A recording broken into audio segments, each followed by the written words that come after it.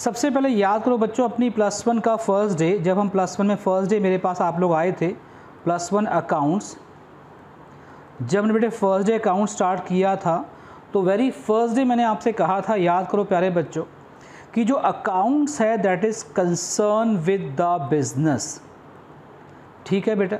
और बिज़नेस क्या हम कोई भी काम करें फॉर मेकिंग प्रॉफिट जिसमें हमारा पैसा मल्टीप्लाई हो जाए, हमें प्रॉफिट हो जाए दैट इज़ कॉल्ड बिज़नेस उसे हम बिज़नेस का नाम देते हैं।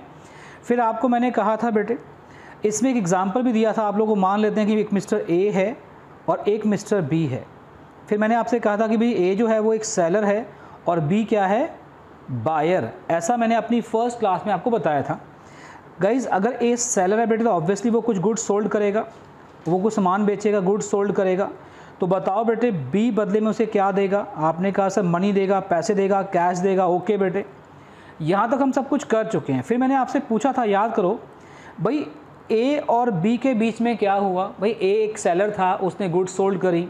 बी एक बायर था, उसने सामान परचेज़ किया। ए ने उसे क्या दिया? गुड्स क्योंकि ए इज़ अ सेलर और बी ए को क्या देगा? मनी यानी कि कैश तो इन दोनों के बीच में क्या हो गया? तो मैंने पूछा, बताओ बच्चों, क्या हो गया? तो मुझे कोई बच्चा कैसे दोस्ती हो गई। लो भाई एक कहता, जान पहचान हो गई जान पहचान हो गई। अच्छा नहीं बेटे, यहाँ पे हम बात दोस्ती या जान पहचान की नहीं करेंगे। जैसे ही ए ने उसे सामान दिया और उसने उसे पैसे दिए, इन दोनों के बीच में एक ट्रांजैक्शन हो गई। एक लेन देन हो गया। एंड नॉट ओनली ट्रांजैक्शन इसे बोलते हैं बिज़नेस ट्रांजैक्शन ऐसा क्यों? बिकॉज़ ए एक सेलर है, जब वो बी को गुड सोल्ड करेगा तो ऑब्वियसली उसे पैसे प्रॉफिट चार्ज करेगा। भाई, अगर दस रुपये का सामान है तो ए बी को दस में तो बेचेगा नहीं नाइन में तो बेचेगा नहीं। ए बी को वो प्रॉफिट पे सोल्ड करेगा। इसका मतलब इसमें प्रॉफिट इन्वॉल्व हो गया। जिस बिज़नेस ट्रांजैक्शन में, या जिस ट्रांजैक्शन में, जिस ट्रांजैक्शन में प्रॉफिट इन्वॉल्व हो जाए that transaction become business transaction तो अगर एक ट्रांजैक्शन बिज़नेस ट्रांजैक्शन कब बनती है बच्चों? जब उसमें प्रॉफिट मोटिव इन्वॉल्व हो जाए। ठीक है बेटे? एक ट्रांजैक्शन बिज़नेस ट्रांजैक्शन कब बनती है? विच इन्वॉल्व प्रॉफिट मोटिव कई पैसे का होना ये डिपेंड नहीं करता कि वो बिज़नेस ट्रांजैक्शन है या नहीं है। पैसे से ये नहीं बेटा अगर आपके पेरेंट ने आपको पॉकेट मनी दी तो वो बिज़नेस ट्रांजैक्शन नहीं है। आपके पापा ने आपकी हेल्प की पैसे से तो वो बिज़नेस ट्रांजैक्शन नहीं है बेटा। हाँ अगर हम प्रॉफिट मोटिव से हेल्प कर रहे हैं किसी की वो बिज़नेस बन जाता है। सो so, यहाँ तक हमें क्लियर हो गया, पिछली क्लास में पढ़ चुके हैं बिज़नेस ट्रांजेक्शन क्या होती है? फिर आपको समझाया था कि क्योंकि ह्यूमन बैंक जो मेमोरी है वो लिमिटेड लिमिटेड है बच्चों। एक आदमी की ह्यूमन की जो मेमोरी है वो तो लिमिटेड है। तो हम इन सभी बिज़नेस ट्रांजेक्शन को क्या करते हैं बताओ? रिकॉर्ड करते हैं। और रिकॉर्डिंग को नाम दिया गया बेटा बुक कीपिंग कौस्तुभ, क्या नाम दिया गया बेटा? बुक कीपिंग बिज़नेस ट्रांजैक्शन को बच्चों बुक्स में रिकॉर्ड करना that is called book keeping अब गाइज़ समझना बुक कीपिंग समझ आ गया। अब रिकॉर्ड करने का कोई एक ही मेथड हो, ये तो ज़रूरी नहीं है बेटा। रिकॉर्ड करने का एक ही तरीका हो, ये तो ज़रूरी नहीं है। गाइज़ मुझे दिल्ली जाना है, मैं बाय कार भी जा सकता हूँ, मैं बाय एयर भी जा सकता हूँ। तो अगर मुझे दिल्ली जाना तो मेरे पास डिफरेंट मोड्स थे। उसी तरह से बच्चों ट्रांजैक्शंस को रिकॉर्ड करने के लिए हमारे पास कई रास्ते हैं। सर बताइए प्लीज़ बताइए। एक तो है जो आप ऑलरेडी पढ़ चुके हो पहले जर्नल ये जो जर्नल चैप्टर बेटे, ये भी तो यही है। ट्रांजैक्शंस को डे टू डे ट्रांजैक्शंस को बुक्स में रिकॉर्ड करना इज़ कॉल्ड जर्नल ये तो पढ़ा है हमने। तो एक तो जर्नल रास्ता है। बट बेटे जर्नल चैप्टर तो हम पढ़ चुके हैं। अब भाई जर्नल चैप्टर तो पहले ही पढ़ चुके हैं। तो प्रज्ञा बेटे, आज हम जर्नल तो नहीं पढ़ेंगे। आज को डिफरेंट पढ़ेंगे। यस बेटे डिफरेंट पढ़ेंगे। Is called sub division of journal. आज हम क्या पढ़ने वाले हैं? Sub division of journal. Journal नहीं करेंगे, वो हम कर चुके हैं ऑलरेडी अब हम करेंगे सब डिवीज़न ऑफ़ जर्नल। और इसमें जो आज का टॉपिक है, वो हम डिस्कस करेंगे। इस सब डिवीज़न जर्नल में आज हम क्या पढ़ने वाले हैं बच्चों? इसमें हम पढ़ेंगे cash book in bracket subsidiary book and other subsidiary books आज हम ये पढ़ेंगे कैश बुक या अदर सब्सिडी बुक या सब्सिडी बुक या अदर सब्सिडी बुक आज हम ये पढ़ने वाले हैं। मैं बताऊँगा आपको, अभी तक मैंने आपको क्या बताया बच्चों? एक बार जरा फटाफट देख लो। सबसे पहले मैंने आपको समझाया कि बिज़नेस ट्रांजेक्शन क्या होती है।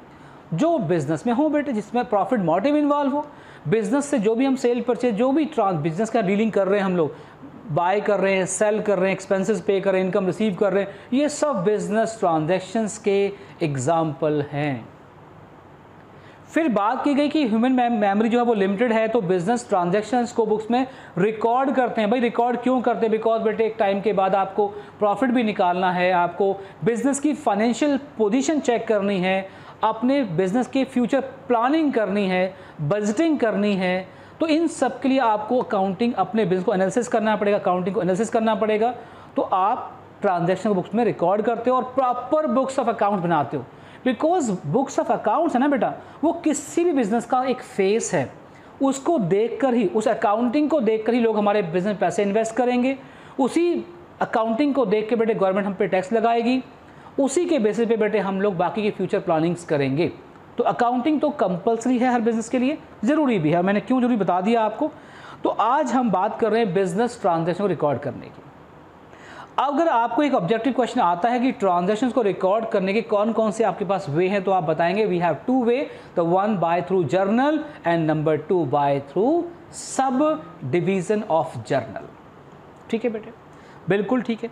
अब बेटे आगे बढ़ते हैं, क्योंकि आज हमें सब डिवीज़न जर्नल करना है बच्चों। हमने जर्नल चैप्टर कर लिया है। हालाँकि जर्नल चैप्टर बाद हमें लेजर करना चाहिए था बट हम पहले साथ जो उसके साथ हैं, देखो लेजर अगला स्टेप है। जर्नल और सब डिवीज़न जर्नल दोनों एक, दो रास्ते हैं अलग अलग लेजर जो है वो अगला स्टेप है। तो पहले हम दोनों रास्ते कवर कर लेते हैं, फिर हम लेजर पे पहुँचेंगे। तो अब हम बात करते हैं, आज के टॉपिक की शुरुआत करते हैं। तो शुरुआत से पहले लिखा बेटे आपके सामने हेडिंग ट्रांजैक्शन और जहाँ भी बेटे मैं वर्ड लिखता हूँ ना ट्रांजैक्शन तो इसका मतलब है बिज़नेस ट्रांजैक्शन आप समझ जाना क्योंकि सिंपल ट्रांजैक्शंस को हम अकाउंटिंग में डिस्कस नहीं करते। अकाउंटिंग में हम सिर्फ़ और सिर्फ़ बिज़नेस ट्रांजेक्शन्स को ही डिस्कस करते हैं। ठीक है बेटा? तो आज की क्लास से पहले मैंने क्वेश्चन किया, मुझे बताइए बच्चों कि हमारे पास जो ट्रांजेक्शन होती हैं, उनके कितने टाइप्स होते हैं? तो यानी कि हमारे पास कितने टाइप की ट्रांजेक्शन होती हैं? तो नंबर वन क्या है? चलो मैं आपकी हेल्प करता हूँ। फ़र्स्ट है आपके पास कैश ट्रांजैक्शंस आप नोट कर रहे हो ना बेटे सभी सारे साथ? हाँ बिल्कुल नोट करना बेटा। एक होती है कैश ट्रांजैक्शंस और एक होती हैं बेटा क्रेडिट ट्रांजैक्शंस लो भाई, सर की प्यारी बच्ची, लाडली बच्ची ओजस्विनी मुझे पूछ रही हैं। सर ये बताइए, इनमें क्या फ़र्क है? कैश ट्रांजैक्शन और क्रेडिट ट्रांजैक्शन या नॉन कैश ट्रांज में क्या फ़र्क है? देखो बेटा, सबसे पहले ये समझना, यहाँ पे कैश का मतलब कैश का मतलब कैश है प्लस बैंक है। बैंक का मतलब बेटे, आपको पता है गाइस जो भी आजकल हम शॉपिंग करते हैं परचेजिंग करते हैं तो सिर्फ़ कैश में नहीं करते। हम कई बार पेटीएम से गूगल पे से, किसी और ई वॉलेट के थ्रू भी पेमेंट कर देते हैं। और इसी तरह से हम पेमेंट रिसीव भी कर लेते हैं। तो अल्टीमेटली जितने भी ई वॉलेट्स होते हैं, इन सब में बैंकिंग का रोल बढ़ जाता है। इन सभी में आपका बैंक का पैसा कम हो जाता है बेटे। यानी कैश का मतलब मेरा यहाँ पे कैश और बैंक दोनों से है। कैश में आपको पैसे मिले, आपको थ्रू बैंक मिले, और बैंक के थ्रू तो बेटे आपको कई तरीके से मिल सकते हैं। थ्रू गूगल पे के थ्रू मिल सकते हैं, या और बहुत से ई वॉलेट्स मोड हैं। मैं उनके सबके नाम यहाँ पे नहीं ले पाऊँगा। तो वो सभी बैंकिंग का ही पार्ट है। तो कैश ट्रांजेक्शन का मतलब यहाँ पे कैश और बैंक दोनों है। क्लियर पॉइंट अब ये नॉन कैश क्या होती हैं? क्रेडिट क्या होती हैं? उधार वाली। देखो, आपके सामने एग्ज़ाम्पल है। परचेज गुड्स फॉर कैश ये कैश ट्रांजैक्शन है। परचेज गुड्स ऑन क्रेडिट ये क्रेडिट ट्रांजैक्शन है। Sold goods for cash cash transaction है। Purchase sold goods on credit ये क्रेडिट ट्रांजैक्शन है। Received commission by cheque cash transaction receive interest by cheque cash transaction cheque से payment मिल रही है but cash transaction में इसे इन्वॉल्व करते हैं। Discount allowed depreciation loss on sale of asset इन सब में कैश इन्वॉल्व नहीं होता। आर कॉल्ड क्रेडिट या non cash transaction clear point तो गाइज़ अब ये बता दिया मैंने कि बिज़नेस ट्रांजेक्शन दो तरह की होती हैं। एक कैश और एक नॉन कैश। तो गाइज़ जो कैश ट्रांजेक्शन होती है बेटा, इनको रिकॉर्ड करने के लिए हम बनाएँगे कैश बुक क्या बनाएँगे बेटे इनको रिकॉर्ड करने के लिए? कैश बुक इसको बेटे हम लोग सब्सिडरी बुक भी कहते हैं। सब्सिडरी बुक भी कहते हैं। सब्सिडरी बुक और दूसरा आता है बेटे हमारे पास अदर सब्सिडरी बुक तो यहाँ पे आप ऐसा पढ़ लें, यहाँ पे आप इस तरह से, मैंने आपको लिखवा तो दिया है, क्योंकि जो कैश बुक है वो भी सब्सिडी बुक का ही पार्ट है। सब्सिडी बुक को ही बेटे हम लोग कैश बुक बोल देते हैं। एक होती है अदर सब्सिडी बुक्स उसमें बाकी सारी की बुक्स अलग एक्स्ट्रा जितनी बुक्स बचती हैं, वो सब आती हैं। वो मैं आगे जाके बताऊँगा। Purchase book sale book purchase return book sale return book bills receivable book bills payable book journal proper वो सब हमारे अदर सब्सिडी बुक में आती हैं। बट अब यहाँ पे थोड़ा इसको शॉर्ट कर लेते हैं। तो एक है कैश बुक और एक है सब्सिडरी बुक्स ऐसा बेटे आप लिख लेंगे अपने पास। आपको मोटे तौर पर मैं समझा दूँ, हालाँकि ये दोनों ही सब्सिडी बुक होती हैं। अकाउंटिंग में आप कन्फ्यूज़न ना हो आप लोगों को, इसलिए मैं बता रहा हूँ कि कैश ट्रांजेक्शन रिकॉर्ड कहाँ होती हैं? कैश बुक में। और क्रेडिट ट्रांजेक्शन कहाँ रिकॉर्ड होती हैं बेटे, जरा बताओ? सब्सिडी बुक्स में। तो अब आगे बढ़ते हैं। आज हमें क्या करना है? आज हम बच्चों ये कवर करेंगे। आज हम करने वाले हैं कैश बुक। लो प्यारे बच्चों, लिखो फटाफट। इसके बारे में नोट का नोट डाउन करेंगे, नोट डाउन करेंगे। लिखो हेडिंग एम एस बी भाई, ये एम एस बी क्या होता है? एम एस बी की फुल फॉर्म होती है मोटी सी बात। कि कैश बुक के बारे में मोटी मोटी बातें क्या है कॉस्ट तो बेटे, आज आपको बता देते हैं। तो लिखो प्यारे बच्चों, सबसे पहले तो आपको मीनिंग क्लियर होना चाहिए। मीनिंग बेटे क्लियर होना चाहिए। तो लिखेंगे cash book these are those books these are those books in which we records all cash transactions यहाँ पे कैश का मतलब cash and cash equivalent cash equivalent जो कैश के बराबर है, वो भी इंक्लूड कर लेते हैं। These are those books in which we records all cash transactions full stop ये होती हैं कैश बुक दूसरा पॉइंट लो भाई, दूसरा पॉइंट पहले पॉइंट में आपको सर ने क्या समझा दिया? मीनिंग कैश बुक क्या होती है? These are those books in which we records all cash transaction चाहे वो कैश के थ्रू हो, चाहे वो चेक के थ्रू हो, चाहे वो बैंक के थ्रू वो सब कैश ट्रांजेक्शन में आती हैं बेटे। नगद। कैश मतलब यहाँ पे नगद लेन देन नंबर टू भाई कौन सा two number two it is a it is a real account ये रियल अकाउंट किसी की याद दिलाता है बेटे? लो भाई, बताओ बताओ, अंजलि किसकी याद दिलाता है? नंजलि बोल रही मेरे को अपने स्कूल वाली मैम की याद दिलाता है। नहीं बेटे रियल अकाउंट यहाँ पे याद दिलाता है जर्नल चैप्टर की। जर्नल चैप्टर में आपने तीन गोल्डन रूल किए थे। भाई, फ़र्स्ट क्या था? Personal account. दूसरा था रियल अकाउंट। तीसरा है नॉमिनल अकाउंट। हम कैश बुक में क्या लिखा मैंने? It is a real account तो गाइज़ अब ये बनता है बताना कि रियल अकाउंट क्या था। तो मैं बता दूँ आपको इसका रूल था debit what comes in and credit what goes out कि जो आ रहा है कम्स इन उसे डेबिट कर दो और जो जा रहा है, उसे क्रेडिट कर दो। अब आ क्या रहा है? यहाँ बात कर रहे हैं कैश की और चेक की। अगर हमारे पास कैश या बैंक आ रहा है तो डेबिट कर देंगे। मतलब डेबिट साइड लिख देंगे। अगर कैश या चेक जा रहा है तो क्रेडिट साइड लिख देंगे। हाउ वो आगे जाके बताऊँगा बेटे मैं। यहाँ तक ये तो समझ लो। यहाँ तक दो बातें बताई हैं।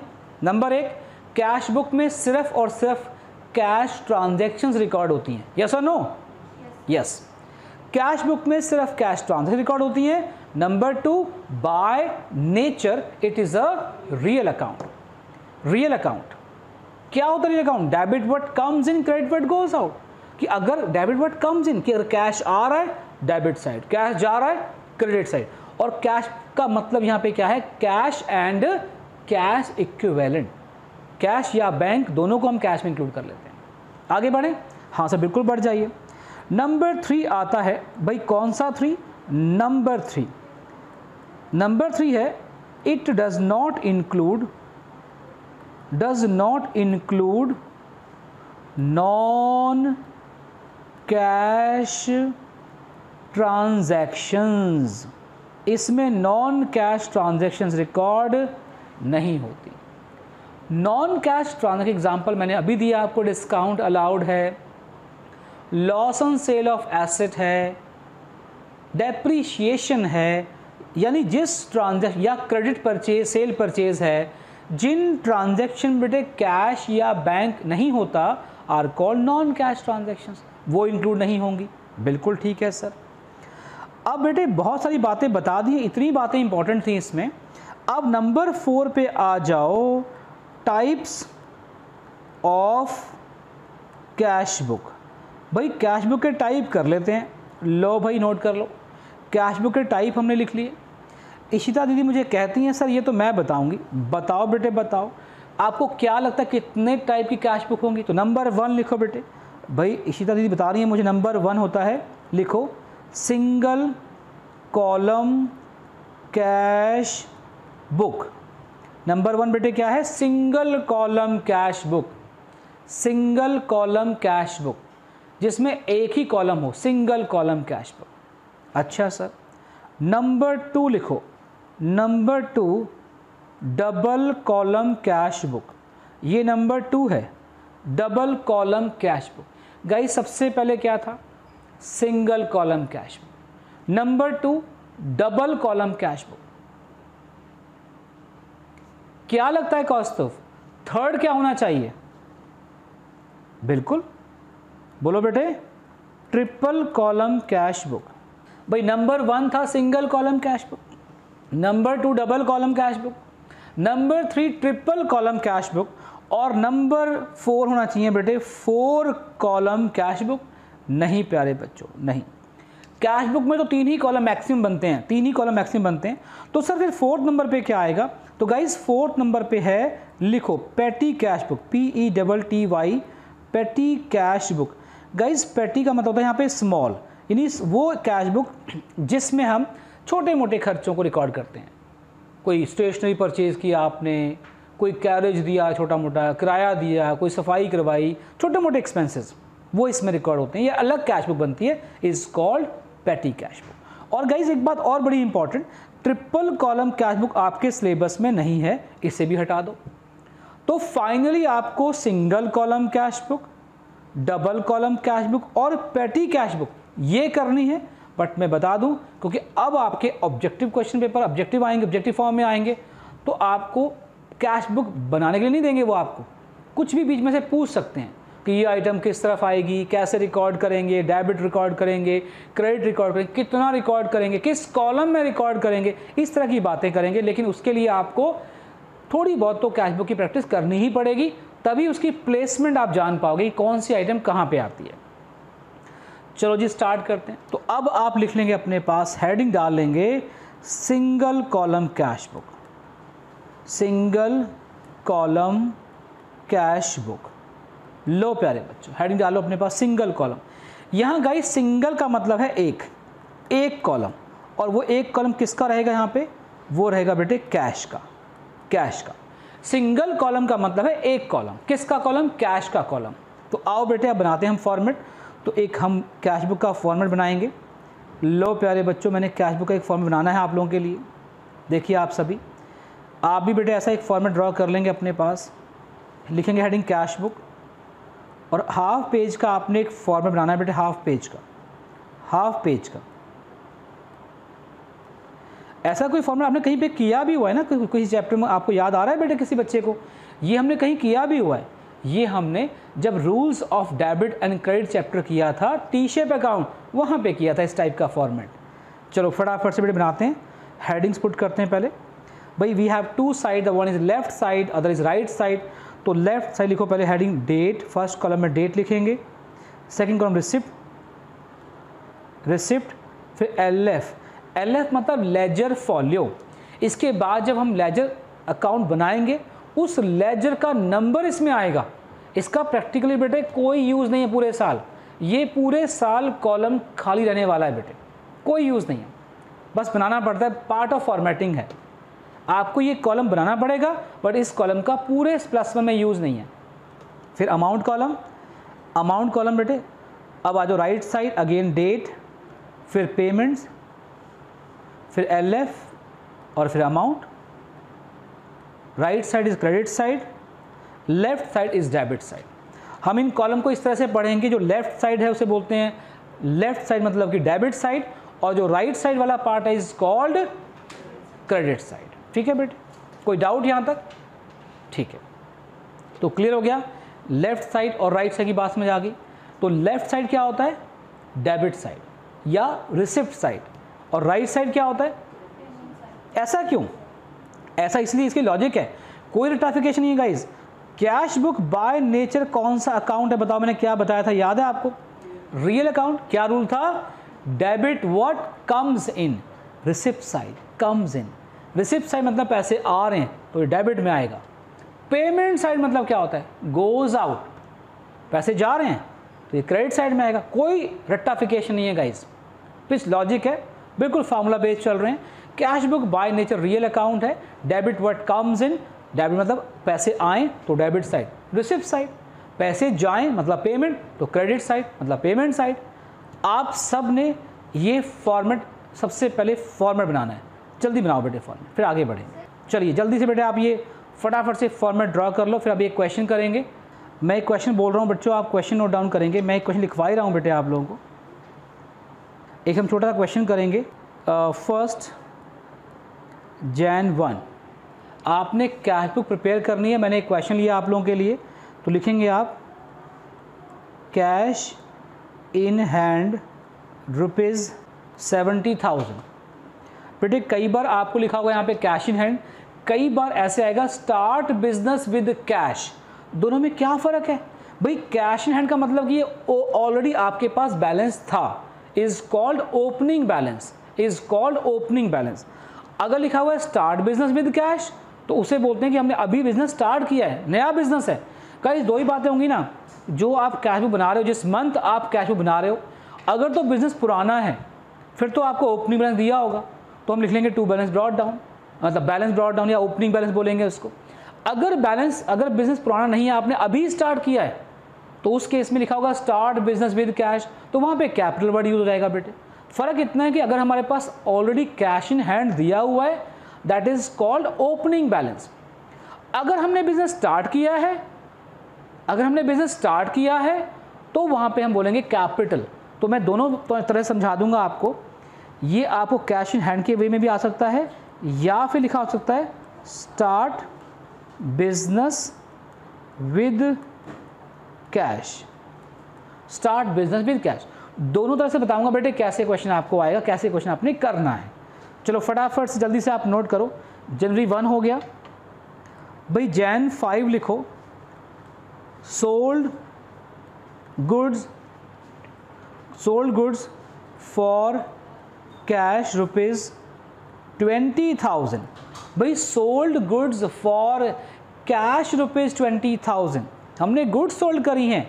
Okay Jan tenth purchase purchase goods for cash rupees thirty thousand okay purchase goods for cash thirty thousand है। सर, और कुछ होगा? हाँ बिल्कुल बेटे, बहुत सारे पॉइंट लेने वाले हैं अभी तो हम। जैन फिफ्टीन है बच्चों। Purchase furniture purchase furniture for cash rupees ten thousand उसके बाद Jan twenty sold goods on credit rupees 20000 sold goods on credit rupees 20000 Jan 25 प्यारे बच्चों Jan 25 received commission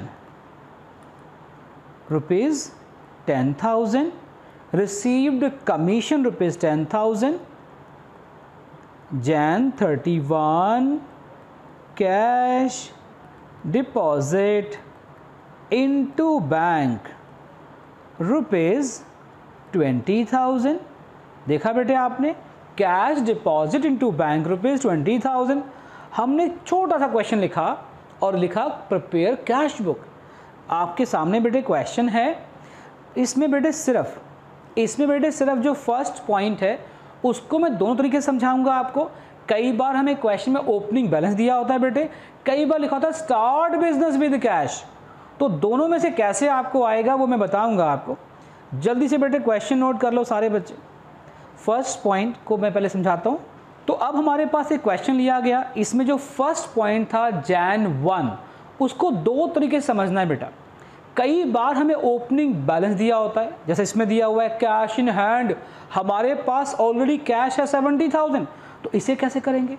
तो बेटे, इसे हम इस तरह से करेंगे, हम लिखेंगे डेट कॉलम में जनवरी वन बेटे, एक बात ध्यान रखना, जो भी item debit side receipt side left side आएगी always start with the word to यहाँ पे टू ये रिप्रेजेंट करता है कि ये आइटम डेबिट साइड में आनी है। और कोई भी आइटम क्रेडिट साइड में आएगी तो start with the word by accounting में ये टू और बाय हमें रिप्रेजेंट करते हैं डेबिट क्रेडिट ये याद रखना बेटा बात। तो कैश बुक में जो भी आइटम आपने डेबिट साइड लेफ़्ट साइड या रिसिप्ट साइड रिकॉर्ड करनी है always start with the word to guys क्योंकि अब आपका पेपर ऑब्जेक्टिव होना है ना तो मैं आपको बता दूँ, ये इजी नहीं हुआ आप लोगों के लिए। टफ हो गया है काम। अब आपको हर चीज़ को बड़ी बारीकी के साथ सुनना पड़ेगा, समझना पड़ेगा। अब आपके पास पूरे चैप्टर की थ्योरी थोड़ी आपके पास होनी चाहिए आपके माइंड में। पता नहीं वो कहाँ से क्या पूछ लें। यहाँ पे अगर मैं पूछूँ आपसे भी कैश बुक में जो लेफ़्ट साइड टू लिखते हैं, वो क्या रिप्रेजेंट करता है? बाय क्या रिप्रेजेंट करता है? तो यहाँ पे टू जो रिप्रेजेंट कर रहा है बेटे, ये कैश बुक में डेबिट साइड आएगा मतलब आइटम ये क्रेडिट की है। और जो क्रेडिट में बाय वर्ड आया, वो आइटम डेबिट की है। आइटम लेजर पोस्टिंग की ना बेटा हमने, इसलिए क्रेडिट साइड में आया वो। तो याद रखना कैश बुक में जो भी आइटम आप लेफ़्ट साइड लिखेंगे डेबिट साइड लिखेंगे रिसिप्ट साइड लिखेंगे start with the word to और राइट से जो भी आइटम आएगी start with the word by अब क्योंकि हमें ओपनिंग बैलेंस की बनता cash in hand cash in hand opening balance बेटे ओपनिंग बैलेंस था ना तो लिखेंगे to balance brought down B A L A N C E balance पूरा लिखना है बेटा। बी ए एल डॉट नहीं बैलेंस पूरा लिखना है आपने। B oblique D brought down या B oblique F brought forward इसका मतलब होता है ब्रॉड डाउन का सिंपल मीनिंग है प्यारे बच्चों opening balance brought down represent करता है ओपनिंग को। कैरी डाउन जो बच गया कैरी करके आया कैरी डाउन रिप्रेजेंट करता है क्लोजिंग को। ब्रॉड डाउन जो लास्ट ईयर जो हमारे पास जो बैलेंस बचा हुआ था, जब वो यहाँ पे आया, उसे बोलते हैं ब्रॉड डाउन यानी ओपनिंग में। पिछले साल का क्लोजिंग यहाँ क्या बन जाएगा? Opening brought forward brought down तो ब्रॉड डाउन रिप्रेजेंट करता है बेटे ओपनिंग बैलेंस को। और carry down C oblique D आगे जाके आएगा बच्चों कैरी डाउन रिप्रेजेंट करता है जो बच गया। और जो बच गया वो क्या होता है? क्लोजिंग बैलेंस भाई, आज के दिन की हम शुरुआत कर रहे हैं। मेरी जेब में फिफ्टी थाउज़ेंड रुपीज़ पड़े हुए हैं। बताओ, मैं दिखा नहीं रहा हूँ आपको, ऐसे मत देखो। ये कोई के बी सी क्वेश्चन के लिए मैं आपको इनाम देने वाला नहीं हूँ बेटे ये आपको मैं दिखा दूँ मेरे पास आज की शुरुआत में मेरे पास कितने पैसे पड़े हुए हैं? देखें जरा सेवेंटी थाउज़ेंड रुपये मेरी पॉकेट में पड़े हैं। बताओ, ये मेरे लिए क्या है? ये सेवेंटी थाउज़ेंड मेरे लिए क्या है? ये ओपनिंग बैलेंस है। क्या है? ओपनिंग बैलेंस है। मेरे पास पहले से पड़े हैं ना बेटे? ओपनिंग बैलेंस है। ये बैलेंस कब कैसे आए? ये कल मैंने सेल की थी। मेरे पास कल के पैसे बचे हुए हैं। तो कल ये क्या थे? कल ये क्या थे? लास्ट यस्टरडे क्या थे ये? क्लोजिंग बैलेंस अब जब मैं तैयार शार होकर आज जब सुबह इंस्टीट्यूट में आ गया हूँ, मेरी जेब में पैसे पड़े। बताओ, ये क्या है आज मेरे लिए? ओपनिंग बैलेंस समझ गए बेटा ओपनिंग क्लोजिंग क्या होता है? शुरुआत में starting of the month starting of the day starting of the year opening balance end of the day end of the month end of the year दिन का लास्ट शाम का टाइम जो बच गया, वो क्या बन गया? कैरी डाउन क्लोजिंग बैलेंस अब मुझे लगता है ये brought down carry down opening balance closing balance में कभी भी कंफ्यूजन नहीं होगी आपकी।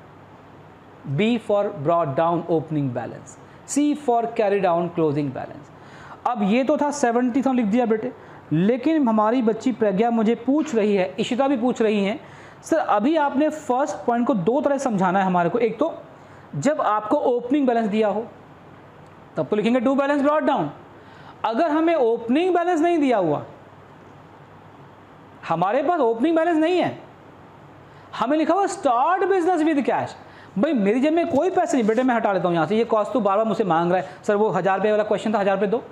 ये बेटे मेरी जेब खाली है। देखो बेटे, बिल्कुल खाली है, बिल्कुल खाली, कुछ नहीं मेरे पास। हमने अभी अभी जस्ट आज है आज है फ़र्स्ट जनवरी हैप्पी न्यू ईयर वाला दिन। आज हमने बिज़नेस स्टार्ट किया। मेरे पास पहले से कोई पैसे नहीं है। आज हम बिज़नेस स्टार्ट कर रहे हैं विद कैश रुपीज़ सेवेंटी। अभी मैं सत्तर हज़ार घर से लेके आऊँगा, सेवेंटी में घर से लेके आऊँगा। बिज़नेस है नहीं बेटा। ये पिछले साल का बैलेंस नहीं है। मैं अपने घर से पैसे लेके आता हूँ। ये देखो, अभी मैं घर गया और वहाँ से मैं सेवेंटी थाउज़ेंड रुपये लेके आ रहा हूँ।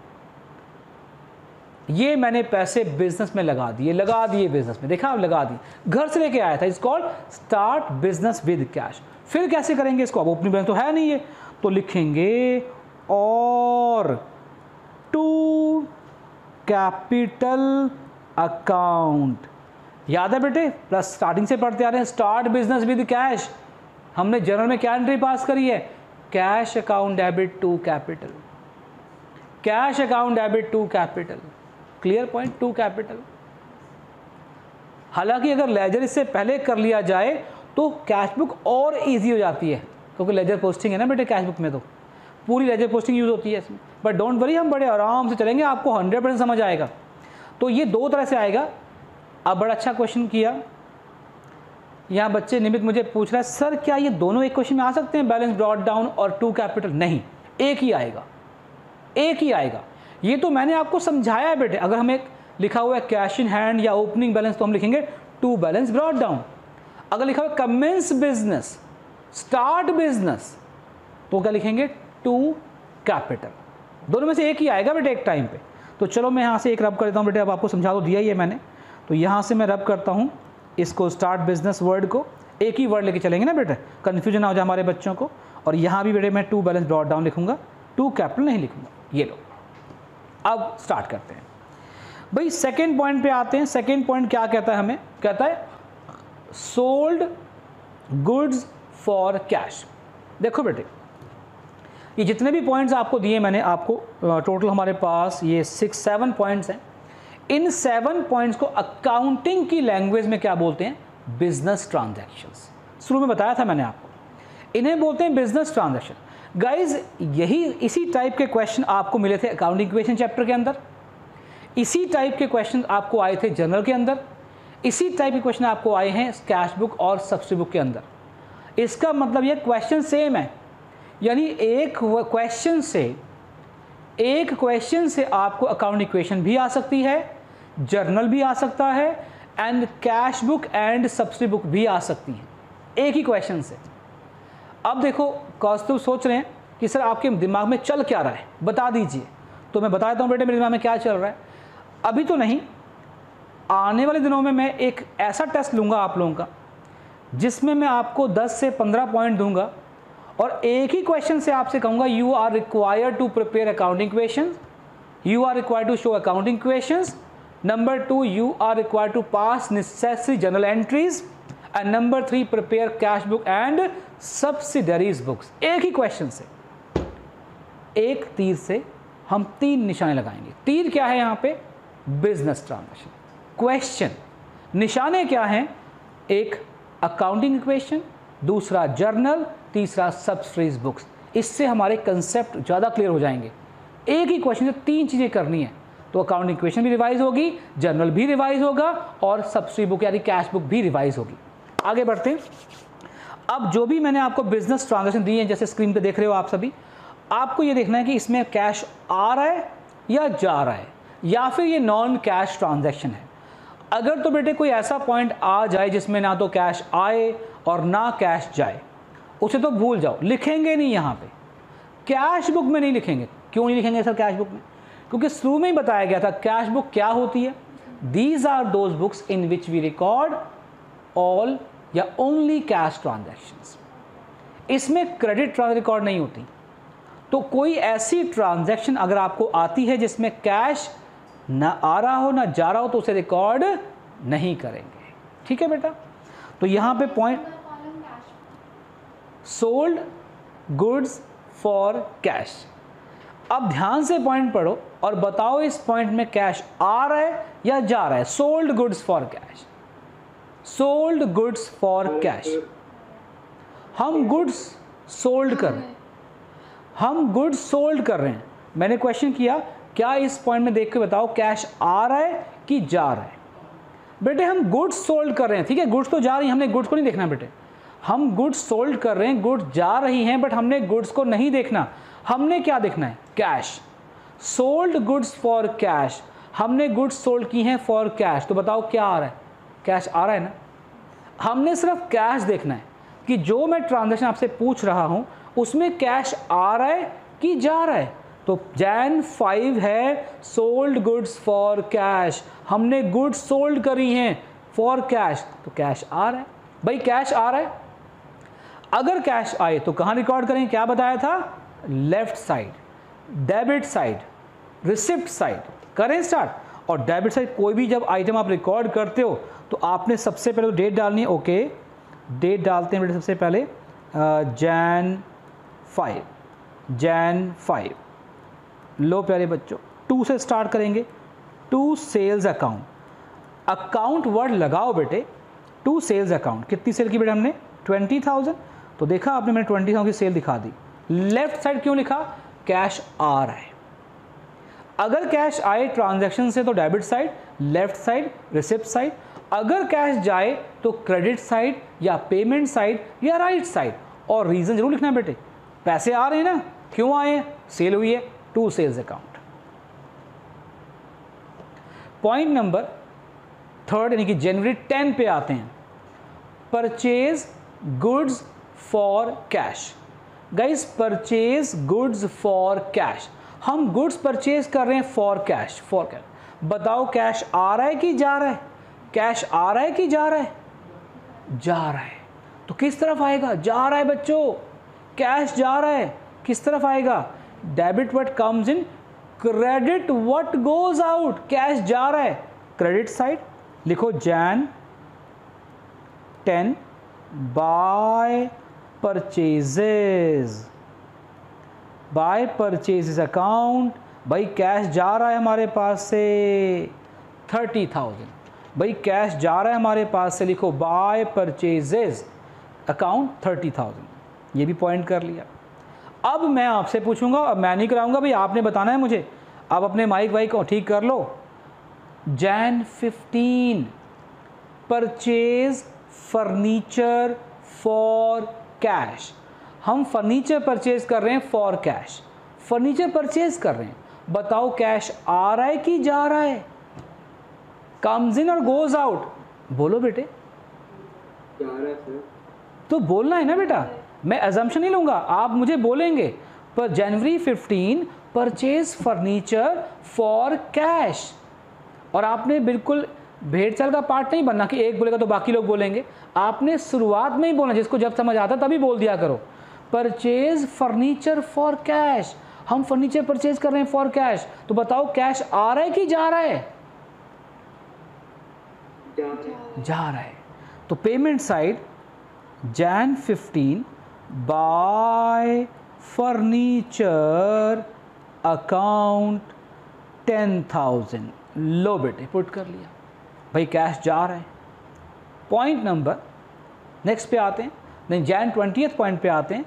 Sold goods on credit rupees twenty thousand sold goods on credit बताओ कैश आ रहा है कि जा रहा है? कैश आ रहा है कि जा रहा है? कुछ भी नहीं yes it's a non cash transaction it's a credit transaction ये पॉइंट कैश बुक के अंदर, ये पॉइंट कैश बुक के अंदर बताओ, नहीं आएगा। सर फिर आपने दिया क्यों? क्यों बेटे? क्वेश्चन के अंदर तो क्रेडिट वाले पॉइंट आ ही सकते हैं आप लोगों के लिए। ये तो आपने देखना है कि ये पॉइंट कैश बुक में आएगा या नहीं आएगा। फिर ये कहाँ आएगा? तो याद करो, मैंने स्टार्टिंग में आपसे कहा था, क्या कहा था? ये देखो क्रेडिट ट्रांजैक्शन कहाँ रिकॉर्ड होती है बेटे आपकी? सब्सिडरीज बुक्स के अंदर, ये वहाँ आएगा। वो हम नेक्स्ट चैप्टर पढ़ेंगे तो बताऊँगा। अभी आपने नॉन कैश ट्रांजेक्शन्स को रिकॉर्ड नहीं करना because we are preparing cash book okay sir fine Jan twenty fifth guys Jan twenty fifth आ गया है। Received commission rupees ten thousand received commission rupees ten thousand बताइए कैश आ रहा है कि जा रहा है? आ रहा है sir very good receipt side लिखेंगे Jan twenty five to commission account ten thousand लिख दिया बेटे हमने। ठीक है? कैश आ रहा है कमीशन रिसीव है अगला पॉइंट है Jan thirty one cash deposit into bank repeat करता हूँ कैश डिपॉजिट इनटू बैंक हमने कैश बैंक में डिपॉजिट कर दिया। भाई, हमने कैश, बेटे मेरी जेब में जो पैसे पड़े थे, मैंने ये पैसे बैंक में डिपॉजिट कर दिए। जल्दी बताओ, बेटे मैंने पैसे बैंक में डिपॉजिट कर दिए। बताओ मेरे पास से कैश गया है कि आया है? सोचो। मैं बिज़नेस यस जा रहा है। वेरी गुड क्योंकि मैं बिज़नेस हूँ भाई। मैंने कैश बैंक में डिपॉजिट किया आपके सामने। मेरे पास से कैश जा रहा है। तो लिखो payment side Jan thirty one by bank भाई, कहाँ जा रहा है? बाय बैंक अकाउंट कितना जा रहा है? Twenty thousand. लो बेट लिख दिया बेटे हमने। अब, सारे पॉइंट करने के बाद, एक बात ध्यान रखें बेटे क्वेश्चन आपको कैसा भी आ जाए, अगर हम single column cash book prepare करें गाइज़ यहाँ पे सिंगल कॉलम का मतलब कैश है तो बैंक को भी नहीं देखना आपने। यहाँ पे सिंगल का मतलब cash column single column cash book का मतलब यहाँ पे मेरा है कैश कॉलम से। तो अगर कैश आ रहा है तो left side receipt side debit side लिख दो। अगर कैश जा रहा है तो क्रेडिट साइड लिख दो। ये सिंगल कॉलम की बात कर रहा हूँ बेटे। सिंगल कॉलम में सिर्फ़ आपने कैश को देखना है। इवन कि बैंक को भी नहीं देखना आपने। कैश आ रहा है डेबिट साइड रिसिप्ट साइड जा रहा है क्रेडिट साइड या पेमेंट साइड दैट्स ऑल अब लास्ट स्टेप अब वो घड़ी आ गई, जिसका हम सबको इंतज़ार था। इसे बोलते हैं बैलेंसिंग वाला पार्ट कैश बुक में आइटम तो पुट कर दिया आपने। आइटम तो पुट कर दें, पूरे मार्क्स अभी भी नहीं मिलेंगे। पूरे मार्क्स कब मिलेंगे? जब हम इसकी बैलेंसिंग करेंगे। और बैलेंसिंग कैसे करते हैं? ये सबसे इंपॉर्टेंट चीज़ है। तो करें शुरू। बैलेंसिंग के लिए क्या करना पड़ता है बेटे? लास्ट में हम कॉलम लगाएँगे। इस तरह से। दोनों सेम बिल्कुल सामने सामने बिल्कुल सामने सामने बेटे कॉलम लगाएँगे। और नीचे एक लाइन ब्लैंक छोड़नी है आपने बच्चों। ये कहीं पे किया हुआ है? यस ये हमने rules of debit and credit जब टी शेप अकाउंट किया था, वहाँ किए थे। टोटलिंग के लिए आपने बिल्कुल आमने सामने कॉलम लगा देना है बेटे। और नीचे एक लाइन ब्लैंक छोड़नी है। क्यों ब्लैंक छोड़नी है? अभी बताऊँगा थोड़ी देर पहले। अब गाइस क्योंकि हम सिंगल कॉलम कैश बुक कर रहे हैं तो याद रखना, जब भी हम बैलेंसिंग करेंगे तो उससे पहले हमें टोटलिंग करनी पड़ती है। और टोटलिंग हम कैसे करेंगे? जो साइड बड़ी होगी, वो पहले टोटलिंग करनी है आप जो साइड बड़ी है, उसकी टोटलिंग पहले करेंगे। लो भाई कॉस्ट तो मुझे पूछ रहे हैं कि, सर, हमें कैसे पता चलेगा कि कौन सी साइड बड़ी है? तो बेटे, आप रफ में, आप वर्किंग नोट में या रफ में दोनों की टोटलिंग करके देख लो बेटे सिंपल बड़ी का मतलब मेरा अमाउंट की टोटलिंग से है। आइटम से नहीं किस साइड आइटम ज़्यादा है या कम है, उससे मतलब नहीं है। बड़ी का मतलब किस साइड कौन साइड बड़ी है इट डिपेंड कि अमाउंट वैल्यू किसकी ज़्यादा आ रही है। अच्छा अभी हम कौन सी कैश बुक कर रहे हैं, जरा बताओ। सिंगल कॉलम सिंगल कॉलम मतलब कैश कॉलम और गाइज़ मैं आपको यहाँ बता दूँ सिंगल कॉलम कैश बुक या कैश कॉलम की हमेशा डेबिट साइड बड़ी होती है। आई रिपीट कैश बुक के अंदर कैश कॉलम का ऑलवेज डेबिट साइड का टोटल ज़्यादा आएगा क्रेडिट से। सर ऐसा क्यों? बेटे, इसके ऊपर तो क्वेश्चन बड़ा इंपॉर्टेंट क्वेश्चन भी आता है। Why uh cash book always show debit balance debit balance का मतलब डेबिट साइड बड़ी क्यों होती है कैश बुक की? कैश बुक के कैश कॉलम की डेबिट साइड बड़ी क्यों होती है? इसका सुनो बेटे आंसर। बेटे मेरे पास जितने पैसे पड़े हैं लेट्स सी अगर मेरे पास फाइव हंड्रेड रुपीज़ पड़े हैं, देखो आपके सामने, मेरे पास फाइव हंड्रेड रुपीज़ पड़े हैं तो क्या मैं फाइव हंड्रेड से ज़्यादा खर्च कर सकता हूँ? खुद सोचो बेटे। अगर मेरी पॉकेट में फाइव हंड्रेड रुपीज़ पड़े वट वी हैव तो क्या हम उसे ज़्यादा खर्च कर सकते हैं? नहीं ना। खर्च मतलब payment side what we have या कितना मुझे मिला इज़ कॉल्ड रिसिप्ट साइड तो जितनी मेरे पास हैं जितना मुझे मिला इज़ कॉल्ड रिसिप्ट साइड कितना मुझे खर्च करना है इस कॉल पेमेंट साइड तो अगर मैं ये पाँच सौ रुपये लेके एलांटे मॉल जाता हूँ शॉपिंग करने के लिए कैश लेके, मेरे पास कोई ई वॉलेट या कोई बैंक बैंक चेक वैक नहीं है बेटे।